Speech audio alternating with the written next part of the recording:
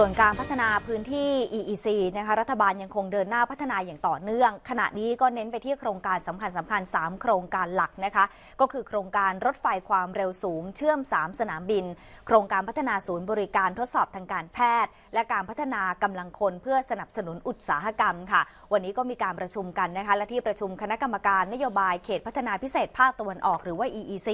ที่มีพลเอกประยุทธ์จันโอชานายกรัฐมนตรีเป็นประธาน ได้ติดตามความคืบหน้าขั้นตอนการดำเนินงาน โครงการลงทุนโครงสร้างพื้นฐานในเขตพื้นที่ EEC 3 โครงการหลักประกอบด้วย โครงการรถไฟความเร็วสูงเชื่อม 3 สนามบิน ที่ขณะนี้ได้ดำเนินการคัดเลือกเอกชนที่ผ่านการคัดเลือกร่วมทุนโครงการ คือกลุ่มกิจการร่วมค้าบริษัทพกพันธ์โฮดดิ้งจำกัด และพันธมิตร ซึ่งคณะกรรมการได้รับทราบผลการคัดเลือก เจรจา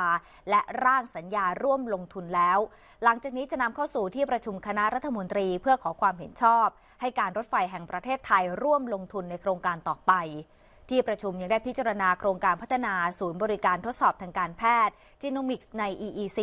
ที่จะเป็นการลงทุนเพื่อสร้างความรู้ทางการแพทย์ ให้สามารถนำไปสู่การรักษาพยาบาลที่มีประสิทธิภาพในอนาคตซึ่งประชาชนทุกคนสามารถเข้าถึงการรักษาพยาบาลดังกล่าวอย่างทั่วถึงในระบบประกันสุขภาพ ซึ่งคณะกรรมการเห็นชอบแนวทางการดำเนินงานของโครงการ พัฒนาศูนย์บริการทดลองทางการแพทย์จีนในพื้นที่ EEC นอกจากนี้ที่ประชุมรับทราบความต้องการในอุตสาหกรรมดิจิทัล ด้านการพัฒนากำลังคน เพื่อสนับสนุนอุตสาหกรรม และส่งเสริมการลงทุนใน EEC ประกอบด้วยนักศึกษาจบใหม่ด้านดิจิทัล ที่เข้ามาทำงานในภาคอุตสาหกรรม และนักศึกษาที่มีศักยภาพการเปลี่ยนหรือเรียนเพิ่มเติม ในวิชาด้านดิจิทัล ซึ่งมีแนวทางผลักดัน ให้นักศึกษาวิชาด้านดิจิทัล ได้รับการสนับสนุนค่าใช้จ่ายในการศึกษา